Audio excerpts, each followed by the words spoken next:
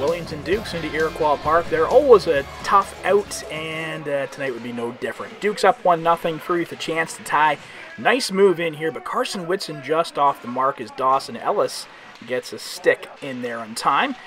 Dukes across the line, everyone gets a touch as Frank Vitucci and Evan Miller help set up Jacob Vergdahal, who beats Connor McKenzie to make it 3 to nothing, and that's the way it would end after 20 minutes as Wiley Gerard puts a shot into Matthew Keeley here as he had Oliver Tarr open for the easy tip in. Unfortunate to not get one back.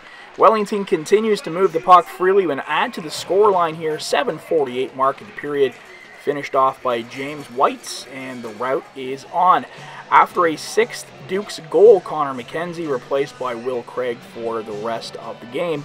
Not long after that, Fury will get on the board. It's a bit of a contentious one as the captain, Ethan Doyle, lunges after a loose puck and shovels Keeley out of the way in the process. The goal will stand, but not surprising. There was some rough stuff after that play.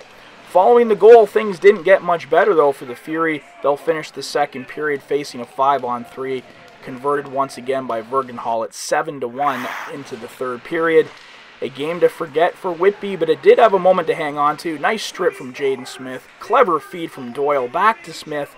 Allows him to post his first OJHL goal. Keep that puck for posterity, but uh, maybe discard the game summary. 8 to 2 is the final.